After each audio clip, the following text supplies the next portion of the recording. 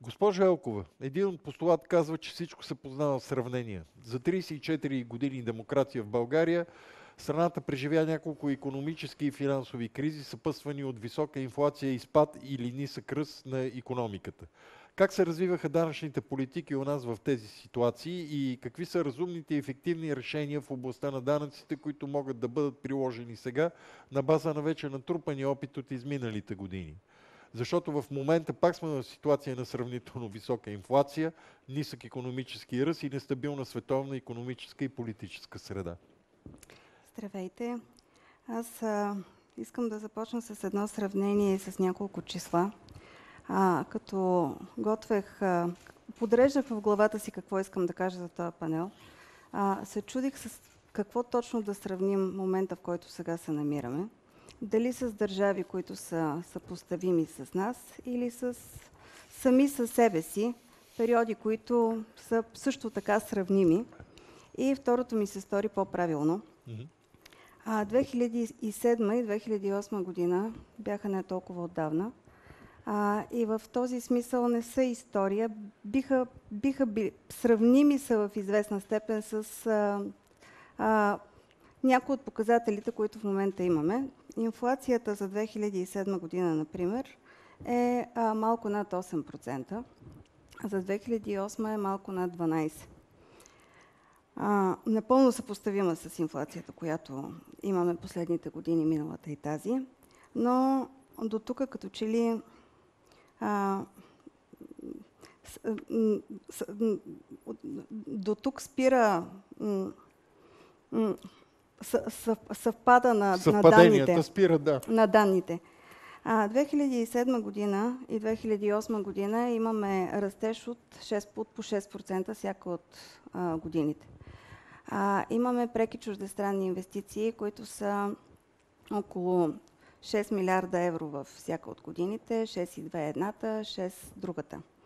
А, имаме намаление на а, данъчните ставки, което е любопитно принципно. 2007 година намаляваме корпоративния данък от 15 на 10% като ставка. И въпреки това имаме увеличение с 30% на приходите от корпоративен данък за 2007 година. 2008 година намаляваме данъка върху доходите на физически лица и така а, данъка става, преките данъци стават плоски. Въвежда се едината ставка от 10% за физически лица. И отново имаме ръст около 30% на данъка върху доходите за 2008 година. А, като цяло, а, приходите се преизпълняват с около 12-13%. А, въпреки, че с присъединяването 2007 година имаше смущения в ДДС, тъй като тогава вече износа започна да има друго значение, не като а, преди 2007 година, минахме на вътреобщностните режими, но въпреки това приходите вървят много устойчиво нагоре. А, бюджетните разходи също се вдигат. А, увеличението на заплатите е с около 20% за всяка от годините. 20 за частен сектор и 21,2 за държавен сектор, примерно 2008 година. Пенсиите също се увеличават с около 20%. А, това, което е основното различие, може би, с положението сега, е, че тогава имаме трайни бюджетни излишъци, които бюджетни излишъци са от порядъка на 3% от брутния вътрешен продукт. И така се създава един добър резерв, който да подкрепи а, финансите в по-неблагоприятни времена. И сега всъщност различието с последните години, нали, те различията са много, но основното е, че а, нямаме инвестиции вече много години. Преките ни чуждестранни инвестиции са с символични размери инвестициите са надолу трайно. Или даже не знам дали са надолу или са в едно плато, но то е просто на много ниски, много ниски нива. А, продължаваме да имаме известен растеж, а, който също е на незадоволителни нива за амбициите, които имаме. А, имаме обаче трайни вече бюджетни дефицити последните години. Нарастващи това. Нара... Да, нарастващи, за съжаление и нарастващи, което става вече един структурен проблем. А, не би трябвало, съдейки по, по това, че все пак имаме известен растеж, особено една, една от годините нали, над 3%, не би трябвало а, да имаме а, бюджетни дефицити, които вече стават една система и не се говори нищо за бюджетна консолидация, не му се вижда края, както се казва. И а, другото, което а, на мен ми прави много силно впечатление, е, че нямаме стратегия изобщо. Нали, аз не, не разбирам на къде се движим а, средносрочно а, бюджетно, на къде се движим стратегически, какво искаме да постигнем в 3-месечен, в 3 годишен хоризонт, годишен хоризонт. А, политическата нестабилност, разбира се, допренесе за това. И бюджетният процес беше разстроен последните две години. Приемаха се бюджети по средата на годината, а, нямаше правителства. А, това са обективни а, причини и процеси, но така или иначе вече има заявка, че правителство има, то има намерение да изкара целия си мандат. И първото, което би трябвало да се види, а, е какво той има намерение да прави в областта на публичните финанси, в областта на данъците. А, другия голям проблем, вече също структурен, са увеличени разходи, които не могат да бъдат намалени. Това са разходите за заплати, разходите за пенсии. Намаляване на заплати и на пенсии не е реалистично от никаква гледна точка, по мое мнение.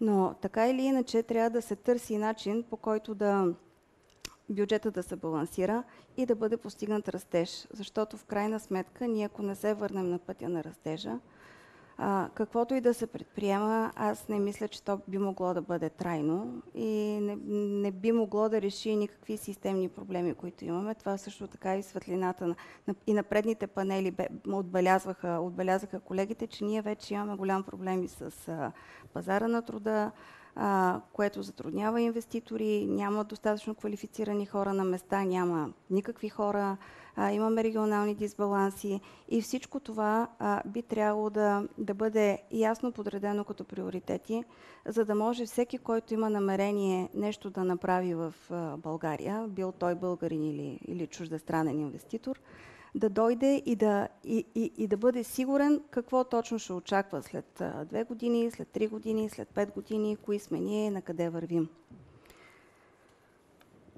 Добре, през последните две години съществуващата данъчна система бе видимо променена с коригиране, макар и временно на данъчните ставки. Доколко тези мерки, представени като антикризисни, разбира се, са ефективни за економиката и за запазване на жизнения стандарт? Ами, по мое мнение, те не са ефективни като цяло. А, ако пак да се върна на това, че то е, то е стратегия. Ако искаш да провеждаш данъчна политика, която е а, подчинена на отрасловата неутралност, би трябвало да не толерираш отделни сектори, а, което винаги е било нали, основен принцип през последните, може би, 15 години.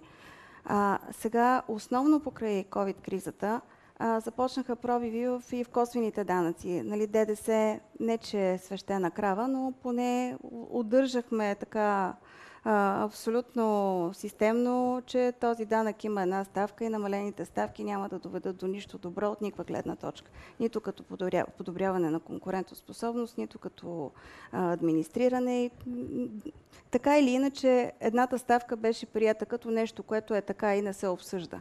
Сега видяхме, че и това не е така. И там се появиха намалени ставки. Вече не можеш да обясниш защо една е намалена, а друга не е намалена и кое е приоритетно и защо е приоритетно, което е проблем само по себе си.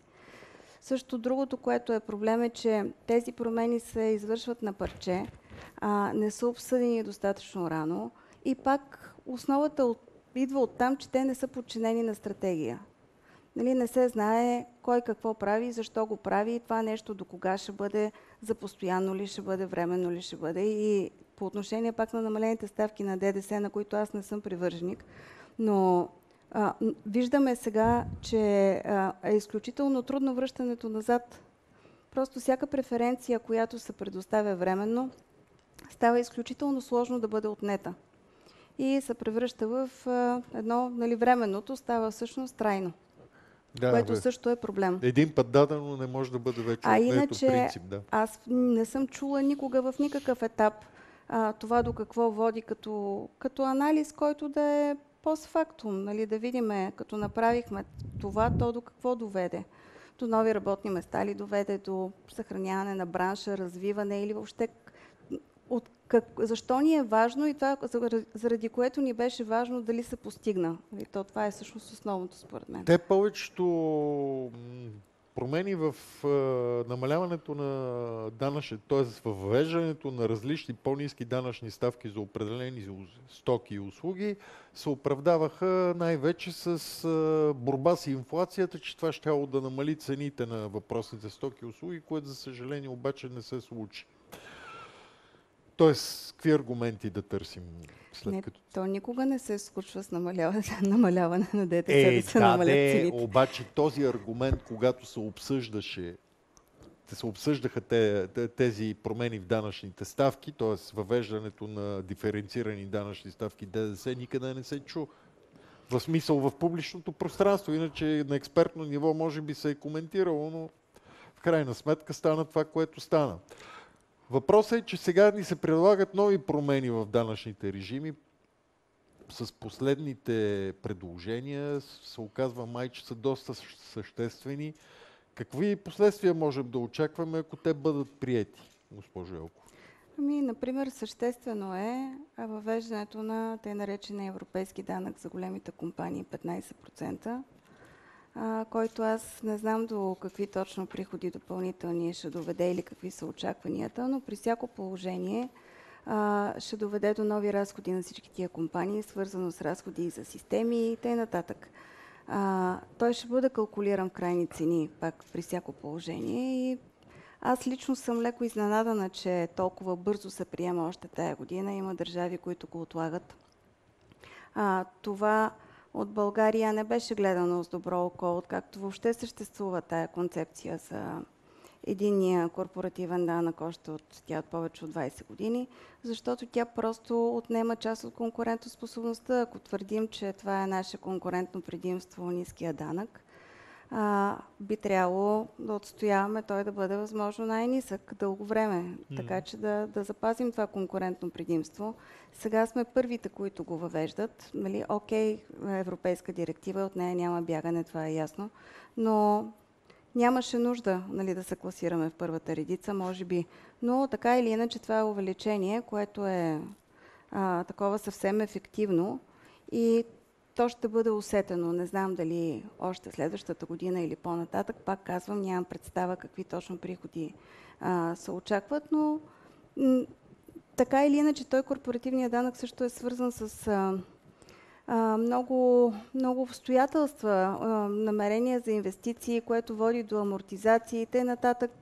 М, Как да кажа, той не е, не е винаги при равни условия, така че компаниите също така могат да предприемат и други инвестиционни решения.